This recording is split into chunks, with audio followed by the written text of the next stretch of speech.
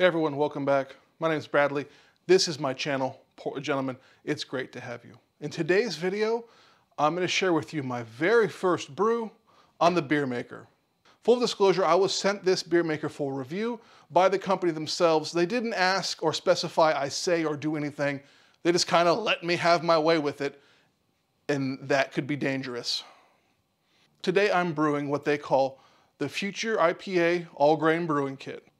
If you'd like to learn even more about brewing and brewing equipment, I would appreciate it if you would subscribe and brew along with me. Research it, mash it, boil it, ferment it, drink it, analyze it, share it. Home brewing is good. Here's a look at you get with your BeerMKR, a beer tap, a measuring cup, a bunch of valves you're going to need, a beer kit, as well as the machine itself. When you open it up, this is what greets you inside, kind of the basic components. There's a lid, the brew tub, the squeeze bar. The squeeze bar is integral to the brewing process. It's pretty simple. Uh, the sticker faces you. You insert it with the two tabs on either side. The lid comes off pretty easily.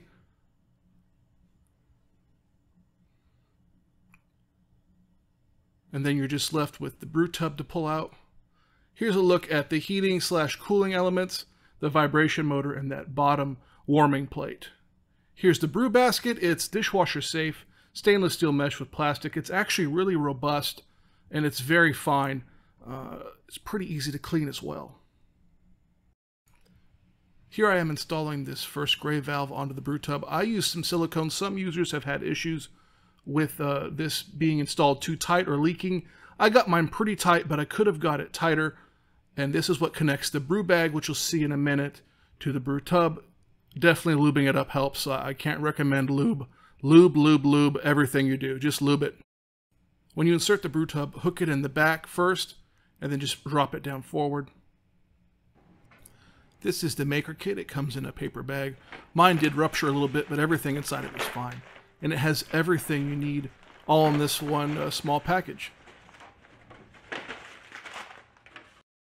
It's got brew bags, hops, yeast, sanitizers, grain, CO2 cartridges, and in this kit's instance, it also has dry hops.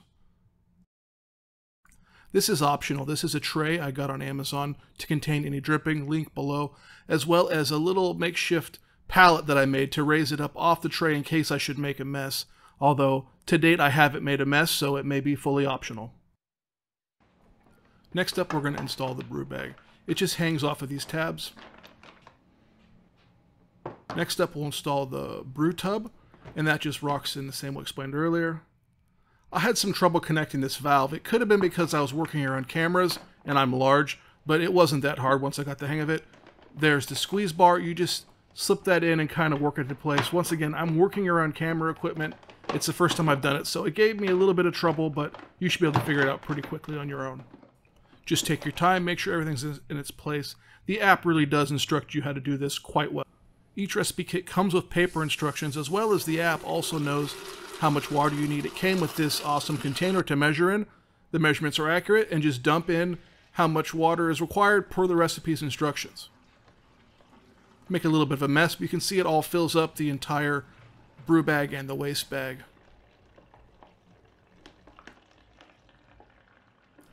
Definitely now is going to be a good time to check for leaks. Make sure at this point you don't have any drips. Now it's time to pour in your grains. This kit had a decent amount of grains, but it's still minimal compared to what I'm used to. Just pour them in, nothing special here. And just make sure they're padded level at the top. This was not in the instructions. I actually made a water profile and built my water up from reverse osmosis water. This is really the best way to get the best quality beer in my opinion, but not necessary. Use whatever water you have access to, just make sure it doesn't have chlorine. Here I'm just mixing it in and then just topping it up to the indicated amount within the recipe, which I found to be dead on accurate. Now just dump the water on top of the grains. Take your time, do it nice and easy. You don't want to make a big mess here and just make sure all the grains are saturated. I didn't have to do any sort of stirring or agitation. Definitely want to make sure you get every last drop of water. One last look before you close the lid. This system actually mashes for about 24 hours more or less and it heats it to about 165 degrees. So in a few seconds here, we'll snap the lid on and lock it into place. The seals are actually Really good, just make sure they're all in the proper grooves and lock the latches one at a time and it ensures a nice tight seal. Firmly press down as you're locking the latches, everything seals up. Put the lid back on. Then basically close the lid. In about 24 hours or so, the app will prompt you to start the next steps. Quick look here at the system to this point. Just close the door and push the button. When it stops flashing, you know you're good to go. It'll let you know when it's ready for you. The app just notified me that it's time to do another step. This step, we're going to remove the squeeze bar and remove the mash basket. If you've never brewed beer before, this is really a treat. It smells amazing. Uh, it smells just like brewing beer. There's nothing better in my opinion. So pulling out the squeeze bar, again, I'm working around cameras, but I just popped out one side as best I could. It was in there pretty good, and the other side came right out. And then you can see at this point all of that wort making its down into that brew bag. There has been a vacuum created, so you'll need to pop the lid a little bit to let some air in to equalize the chamber. Uh, you have to pull on it pretty good. Don't be afraid. You're not going to break it, but it is, like I said, a very tight seal. Just give it a good tug and you got it. Make sure your hands are thoroughly washed for this step as well. Here we are filling up that brew bag, sped up just a little tiny bit here in a second. I probably let this go in reality for 10 or 15 minutes. This is sped up like 600%. Much, much faster than in real life. It's time to pull out the spent grains. Just grab the handles, give the basket a little tug, it comes right out. I actually held a half sheet pan in front of my unit and put the basket in that because there will be some residual wort inside of the basket that will drip all over. No one likes stickiness or ants. It does have a vibration motor. The first time my wife heard this, she got very, very excited. You can program it within the app so it's quiet during certain hours. Like I said, the, the sound of this just it gets my wife going. She gets really excited. So definitely, if it's in your kitchen or close to your bedroom, set it to a time when you're not sleeping. Per the app's instructions, it's time to pitch the yeast, which I sanitized with alcohol wipes included in the kit itself. Next, it's time to add your hops. The hops are going to vary on the style of the kit you're making or the recipe you're making. This one's like kind of an hazy IPA, so it's got a good amount of hops. That's for sure. Just sprinkle them all in there me scraping this one down is actually not necessary. High Krausen, it's going to fill up that entire space with liquid and yeast and whatnot. Definitely make sure you're as sanitary as possible. And just close the lid, much the same as before. Snap all the snaps.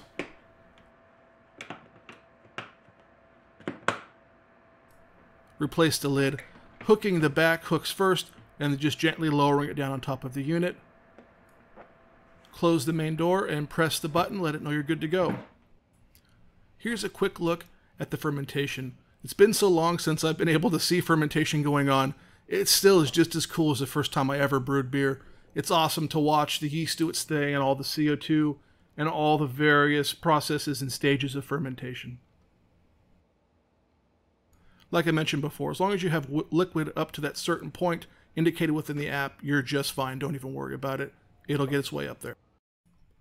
Dry hopping this is super easy, much the same as all the other processes. Just open the lid and sanitize it. I use Star San.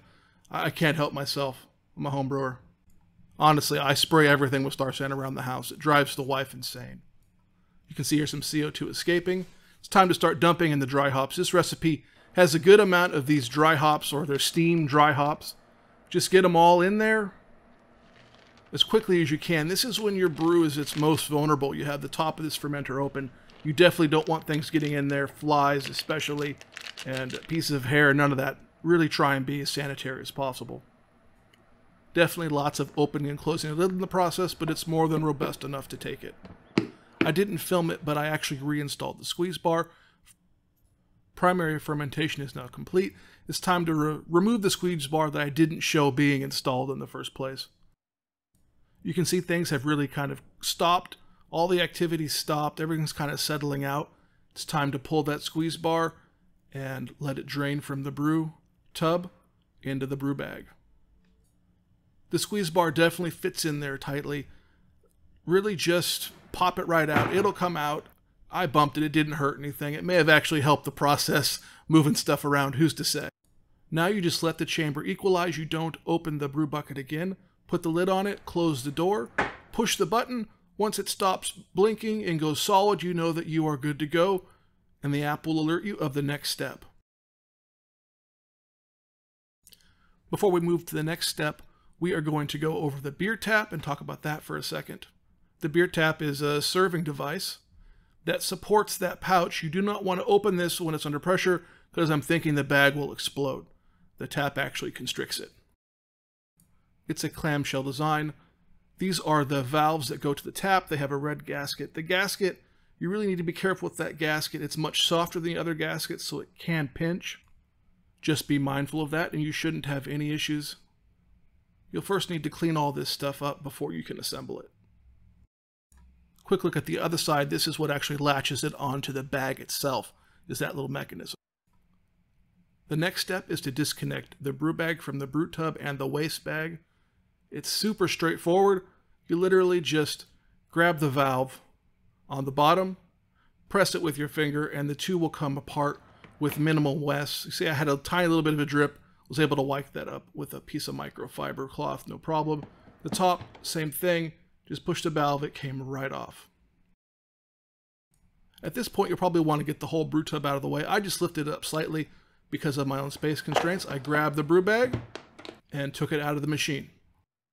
Next, I'm cleaning the valves per the app's instructions with the included alcohol wipes. Sanitation is key. I'm not sure if I could use Star San on these components. I bet I could. In the future, I'll probably switch to just using Star San because it's easier for me. Not to say the alcohol wipes don't do the job. This is the gas side. And then I'm just hooking the gas valve to the gas connector.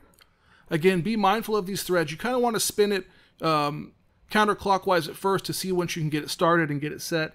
And there I have it. Went together perfectly the first try with minimal fuss, just making sure it's tight, but not too tight. I can't stress that enough. Next, we're going to connect the gas line to the bag itself. Push the black button in and pop it on the valve. It's actually super easy to connect these. This is the beverage out valve. Same process as the other one, just push it and click it on. At this point, you're going to want to check for leaks before you pressurize it. Make sure you have a good connection, everything is tight. Now it's time to feed this guy into the beer tap. This is kind of tricky, and I was a little more nervous than I should have been, honestly. You can be pretty rough with this bag, I think. You just want to make sure that that white flange on the bag itself is in front of the gray plastic. That's so you know you have the right location, and fold the handle back. And then, of course, you're going to to make sure that you have the gas lines routed in such a way that they're not going to bind up. As long as you take your time and make sure you have adjusted everything properly so nothing's going to bind or pinch, I don't see you having any trouble. Don't be afraid. Just, like I said, you can muscle it. Now we're just going to uh, close the top of the clamshell. Make sure that you kind of go slow and watch and make sure you don't pinch anything. And work everything in there and just lock the latch. Next up, per the app's instructions, I made sure that I got a little bit of liquid coming out. Uh, unfortunately, that happened just off camera. Now it's time to pressurize. It came with this little sleeve to help grip the CO2 cartridge. You want to screw this cartridge in, you'll start hearing it fill up. It's going to sound kind of crazy, but don't be scared. Everything's just fine. Keep turning it until it gets honestly really hand tight. You're good to go. At this point, it's just a matter of time. The beer should be fully carbonated in about 24 hours. My beer went into the fridge for 24 hours, which went by all too slowly. Before you know it, it was time to pour. There's a little bit of sediment in there because this is literally the first pour I pulled off of it, and I had to walk about 30 feet to get it to the brewery so I could film this. But the sediment's not a big deal. It's it's really amazing uh, how good this beer tastes.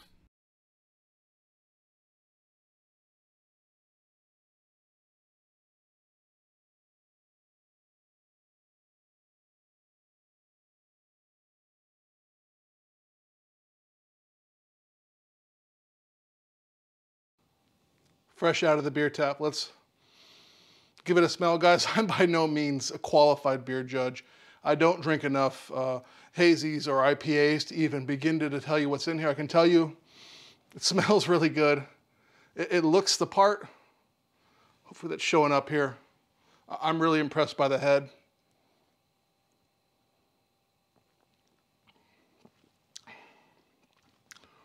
That's good. Uh, I had a little sip last night and it seemed a little bit bitter to me, overly hoppy, but it's, I don't detect that now. I just had an IPA about 20 minutes ago, so my, my palate's kind of, you know, not shocked by it. But yeah, um, I'm impressed. This, this made awesome beer, step by step, told me how to do it, held my hand basically, and I was able to do it the first time, and it's good. It, it's really good. So, all right, so we just drank the beer, and the beer is good. I mean, it's quite honestly extremely good. I'm very impressed with how well it came out. The BeerMKR team is actually working on a ton of stuff right now. Their manual control mode for the BeerMKR is just about to be released. I think this week it may be even be out as of uh, as you're watching it right now, to be honest.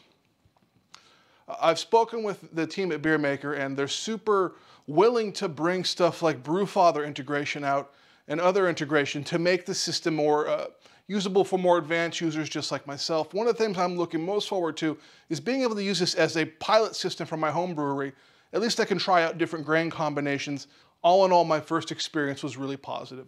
Anyone can make beer on the system, I'm convinced of it. The company's instructions are beautiful. No one has instructions like they do, believe me.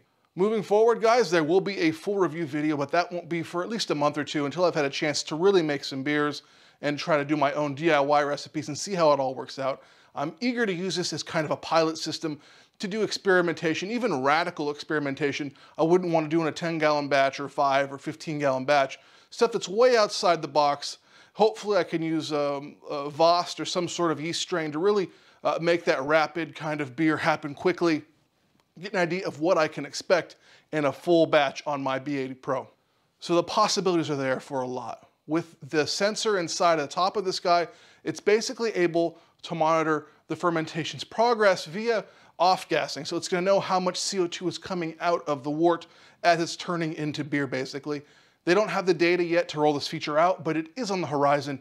It's really crazy cool feature. I don't know anyone else that's messing with that. I'm excited to see what that does. I myself am working on a Brewfather profile, which I hope to make available very soon. Obviously, I'm having some difficulty counting IBU. That's gonna be tricky. Hopefully the BeerMKR team is willing to, to jump in and do that for the community. It'll make this even better. All in all, initially, I think this will actually bring brewing to more people, guys. And that's what I really care about. It's not just all about my B80 Pros or other expensive equipment. This is not cheap, but it will bring homebrewing to people that don't have the space for a full setup or that don't simply want it yet. They don't know that they need it. This is definitely going to help a lot of people get into the hobby, and I'm all for that. The system is heavily reliant on the app. The app props you for everything when it's time to do all the steps. It's right there with instructions teaching you how to do it. The first time was super simple, and I've never brewed on anything like this, I promise. Having said that, the app helped me through it. Every step of the way it was there with instructions and promptings and told me exactly what to do. And I'm a, a rather advanced home brewer, so this was awesome. I really think anyone that gets this can definitely brew on it.